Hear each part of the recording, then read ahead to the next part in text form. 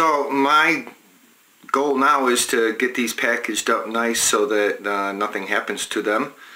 And I'm going to ship them out to Colorado. So hopefully Perry will get them soon. Let's see what happens. See if I could do a little YouTube magic. Thanks, Matt. Man, that was easy.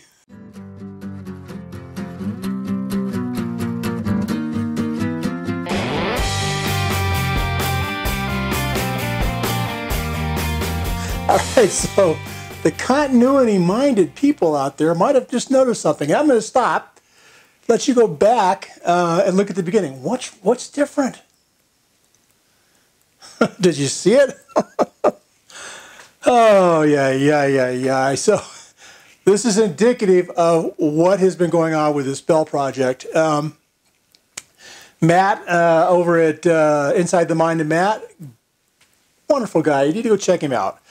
Um, he made me three of these little pattern things. And I had a picture taken of him mounted to my camera. And I stood here and I tried to get them in my hand just right. And I got them where exactly like they were supposed to be. and it was backwards. Oh well, we fixed it. Fixed it with a little uh, switch it around there thing more of that internet magic, as he called it. All right, let me just show you real quick how we're going to set this thing up and talk about a couple of things that I've done a little different here. Uh, first off, I'm going to have my uh, runner down in the drag. It'll be in there sort of like this. Uh, the sprue, which is inside, will mount here. And then I will have um, surge trap up on it. This will be up into the cope. So we're going to basically all we're going to do is we're going to have this runner in the drag. Everything else is going to be up in the cope. I have a runner, a gate that I've built that will sit atop the runner like so. Now the gate is, I've calculated the gate to have three times the volume of the cross section of this runner. And the reason I did that is I want to slow the velocity of that forward edge of metal. I want to slow it down a little bit. This should slow it down, I would guess, by a third, since it's three times as large. We'll have the same amount of volume going through, but it can run through at a slower rate. So um, at least that leading edge will be moving slower. So that's what that's all about there. That will go here uh, against uh, right atop the, the runner. And then the bell will mount up right up against the um, the gate and we'll come in. I'm going to actually come in from the side. Uh, I could, I, I realize coming in from the bottom would probably give me a much easier, a cleaner uh, place to break it off, or not break it off, but cut it off and grind it smooth. It certainly wouldn't be as noticeable, um, but I'm going to come in from the side this time just to see what happens. I've also uh, thought about and had some discussions about doing a more horseshoe kind of arrangement where we have metal coming in from both sides and filling it um, this way. I'm going to try this first. We're going to see what happens. Anyway, atop the bell, once the bell is in there, will be the um, the investment that uh, Matt made me. And we're going to go ahead and set that guy right on top of there. When I do this, we're going to have cut this rim away. I just use my belt sander for doing that. And that will give me um, well, that'll give me the crown. It's supposed to look like that, but came out looking like that. Hopefully we'll get that done. So let's go ahead and uh, get going here and start ramming things up.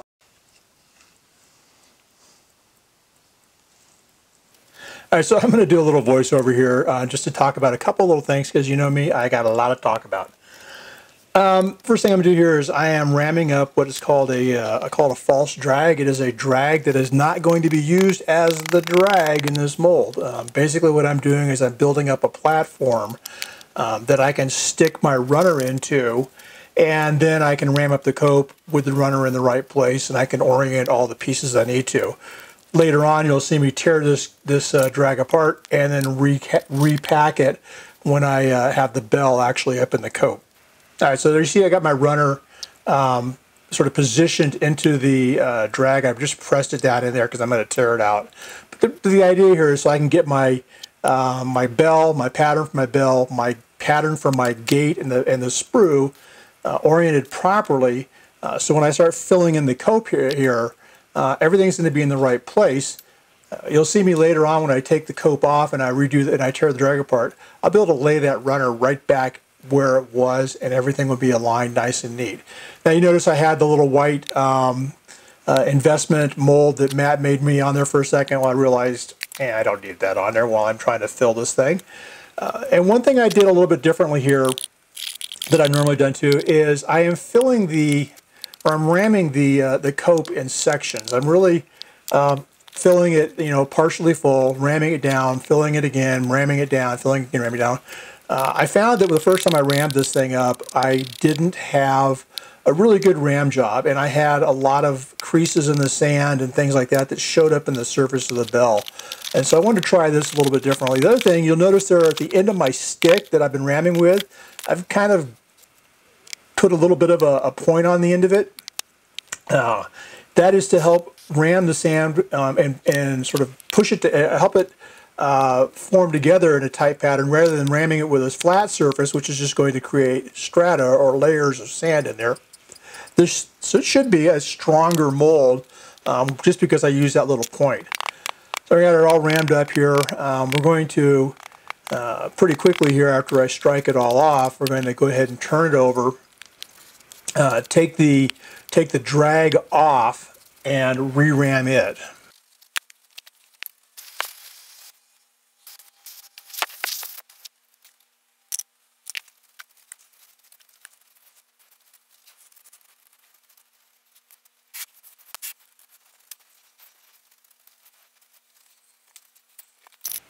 I struggled getting this thing off. It's so heavy, it's just stuck in there. So there's, I go ahead and pull the gate out, or the runner out.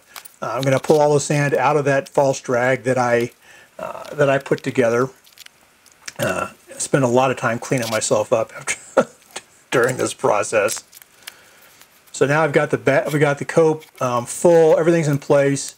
Uh, sorry about the framing here. I, yeah, whatever. There, goes the, the, the runner back onto this plate exactly in the same orientation it was before. We're going to go ahead and fill in the bottom half of the, or the bottom side of the uh, bell. Uh, pack that in there real well. Um, you're going to see a little bit later here, maybe not as well as I should have. But uh, we're going to fill in the uh, fill in the drag here, get it all get it all struck off, and um, uh, we'll flip the whole thing over.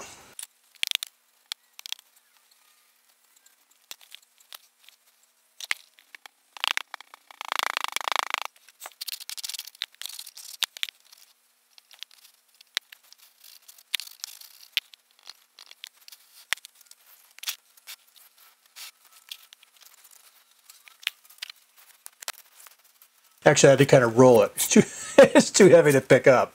All right, now I made a sprue extension. This was a, uh, basically what I did is I modeled up um, as if my sprue were extended about, I think I went about 150 millimeters up. Uh, I think that's what I did. Uh, and I basically just kept kept the same angle. Uh, I just dropped that down into the original sprue hole, which is probably a bad, terrible, awful, evil, wicked thing to do. Uh, but I'm going to blow it all out of there, so I'm not too worried about it. But I'm building that extension box you just saw me ram up uh, so I can get some more height out of my sprue. And the reason being is with the trouble I had getting that um, original crown to fill, um, the assumption is that that I didn't have enough height for the metal to sort of seek its own equilibrium and get up high enough uh, into the uh, into the mold to, to do what it needed to do. So there you see me, I just blew out the, the sprue. Uh, I got the runner coming out now. Now, you'll notice that the um, bell, the pattern uh, for the bell, half the sand is in the uh, drag and half of it ended up inside the uh, inside the bell. It broke on me when I pulled it apart. Now I just tried to get it back into the same spot um, and get it oriented in the same way. That's resulted in a, you'll see that, see that little dark spot up on top that resulted in sort of a little, I don't know, called a lump inside the, the top of the bell. But basically there it is. We have our, um, our, our, our, flask rammed up. I just opened up the tape on that vent on the uh, part. Now I'm doing the, the pouring basin now, and I'm actually, I've dug it pretty deep. It's probably about 40 millimeters deep. Uh, and I expanded the sides around a little bit. You really couldn't see me doing it too much there, but uh, I made it larger so I'd have a bigger target to pour on. Now I'm having all kinds of trouble trying to orient this thing on here in the right spot. I got my flashlight thing going on my phone trying to figure it out and not good. Notice where the ridge is. The ridge is actually down pretty low in this thing. Um, inside the basin, I wanted to be able to have plenty of metal coming in uh, so that I would fill the sprue and keep it full. You'll see when I pour this thing, this thing pours ultra, ultra fast. So we're going to ready to go to the pour now. Everything is ready to go. Uh, we're going to go ahead and pour this thing. Okay, I just left my furnace running. You can hear it in the background here. Now watch this pour. It takes five seconds for this pour. It is taking metal as fast as I can pour it, and you'll see that it looks like it's sort of running over this, the ridge. I don't I, I don't think I got a whole lot of air down there. I think it was I kept it pretty full, but boy, I'll tell you what, I poured as fast as I could pour for this thing to fill. I was amazed at how fast it took the metal. You'll also notice here that I've got the weight, the mold weighted down. That first, that big block of lead is almost 50 pounds. it's pretty heavy. And then I got just a piece of pipe, weighs maybe a pound or two. But um, uh, I wanted to be sure my, my mold stayed uh, down. I didn't want it to float on me here. Alrighty, well, Let's see what we got. This is encouraging, really encouraging for me. That means it came up all the way through that uh, that investment. So I'm not going to put this back in my boxes because it's so hot. Let's see if we can't lift this off of here. See if we got us a bell.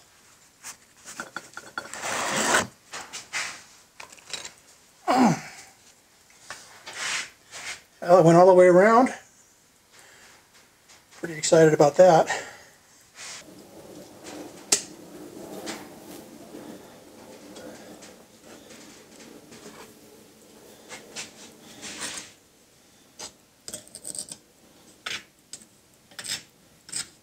Well, bell.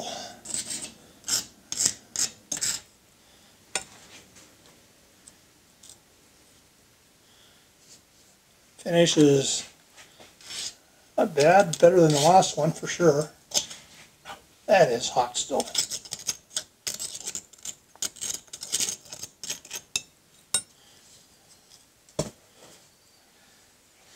All right, well here it is. I need to bust that off there, but uh, you see the sprue uh, came all the way down into the surge trap through a single gate, bigger gate, hopefully we slowed the metal down coming in. Uh, got a great finish right here, but it's kind of goofy looking on this side. I'm not sure hot or colder. I interesting, very interesting to me. I'm going to get it off. See what it did.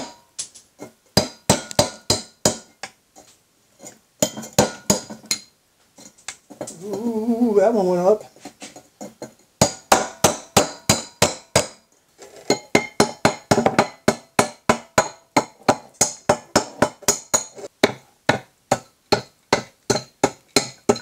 All right, well, I think we got it. I'm going to come back uh, with this thing cleaned off and we'll show it to you. All right, well, there it is. I haven't cleaned it. I just took it out of the mold, took the investment off it. Um, you know, maybe not my best effort, but I am pretty darn pleased with that canon up on top or that uh, crown up on top. That worked awesome. Um, this piece, little thing, it's funny, I tapped it and it just it just broke right off. Uh, I guess it's brittle stuff, but I got to cut, there's the gate. Um, I got to cut that off. I got to finish grinding that off. I'm going to I'm going to clean up the edge. Um, interesting thing, this side finished really nice on its own. And the side where the gate was has this sort of almost burned rough look on it. Um, I don't know. I mean, is heat? Is it? I'm not sure what caused that, but the the backside definitely came out nicer than the front side. So let me get it cleaned up and we'll close this thing out.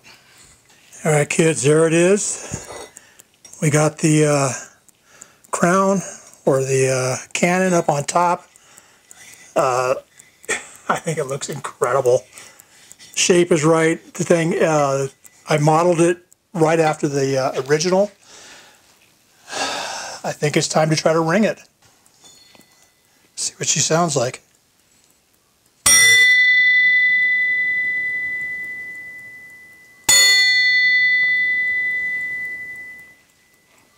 Not too shabby. Not too shabby. All right, I want to thank Matt over at Inside the Mind of Matt again for making the uh, investment mold for me. Uh, I think that turned out pretty darn nice.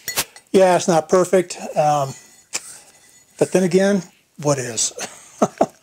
there it is, my Liberty Bell. How cool. You guys have a great day, and go check out Matt's video. It's right there.